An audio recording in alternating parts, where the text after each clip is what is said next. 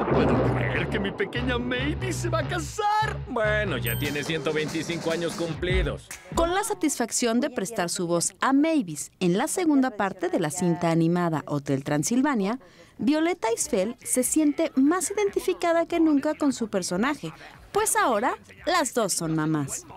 A mí me encanta. Eh, Hotel Transilvania significó mi bienvenida a- al, al mundo del doblaje y me enamoré. O sea, es algo que me gustaría hacer muchas otras ocasiones.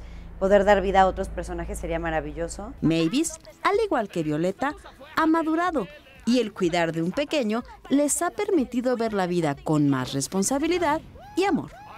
Pero a Mavis la disfruto enormemente. O sea, Es ella, a ver. Es que sí. Es ella. Transilvania 2, la Sí.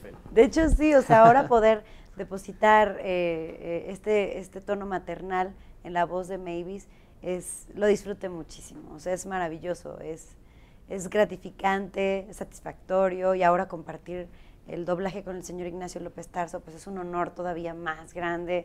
Violeta, cuéntame de esta experiencia tan divertida de hacer a Mavis. El corazón es entender que no, hoy en día las familias son compuestas. La familia tradicional ya es- son muy pocos los casos. Así es. Qué tan importante es integrarnos todos como familia, no nada más de sangre, sino la familia que puedes elegir.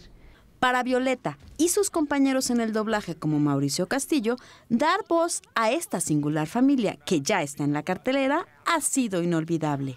Eh, Yo creo que en esta, en esta nueva versión de Hotel Transilvania está mucho más tierno que antes. el- y eso fue lo que disfruté mucho del personaje, que ya es mío. ¿eh? Y lo que decíamos hace rato es que no les prestamos las voces, se las regalamos.